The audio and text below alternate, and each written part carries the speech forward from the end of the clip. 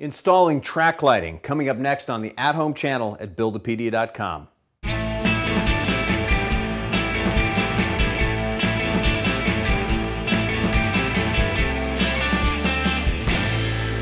know, track lighting is very versatile, and it's a job that really any do-it-yourselfer can do with just some basic electrical skills. Hi there, I'm Jeff Wilson. One of the first things you want to do whenever you're working on any kind of electrical project is to make sure that the power is off in the area where you're working. I have this tester, and it tells me I've still got power right here at this box. So I'm going to turn that off first, and then we'll get to work.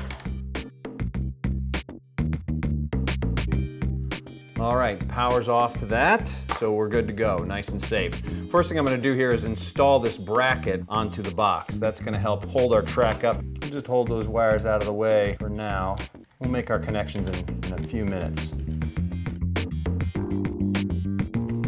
Next, we wanna get our track in there and get it leveled up and make some marks for a couple of holes to get us started. And then take it out of your bracket here Need half inch holes right here.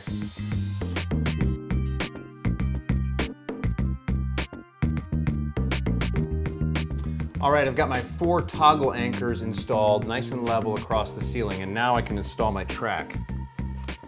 Basically, I'm gonna set my track up here, get the holes aligned, and install these long bolts. Just loose at first and then I'll tighten them up in a minute.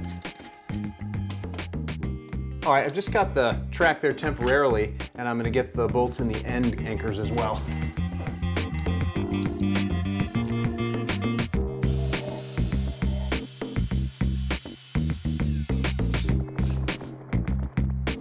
All right, my track's well secured to the ceiling now, and I can go on to the easy part, hooking everything up. So basically we need to hook this block up to the track and wire this all together and this block will provide power to the track. The block just snaps in. It goes into the track like this and then you turn it a quarter turn.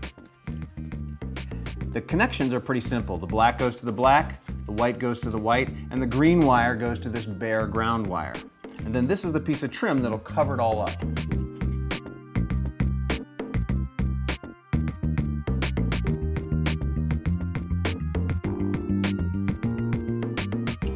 Then you're gonna to want to tuck your wires back into the box the best you can and install the piece of trim. This should cover everything up nicely.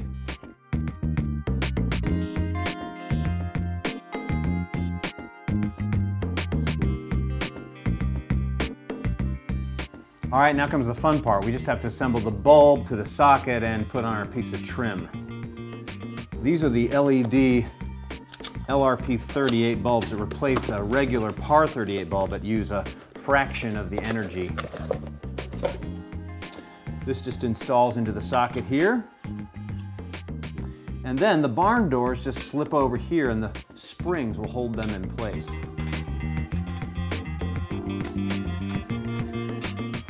Now the fixtures just go into the track, you make a quarter turn and they'll click to tell you that they're in place. There we go. Just want to aim them where we want them to go now.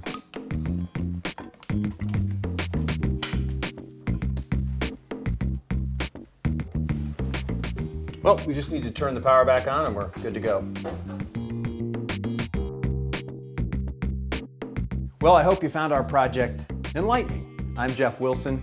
Stop by again for more do-it-yourself projects on the at-home channel at buildipedia.com.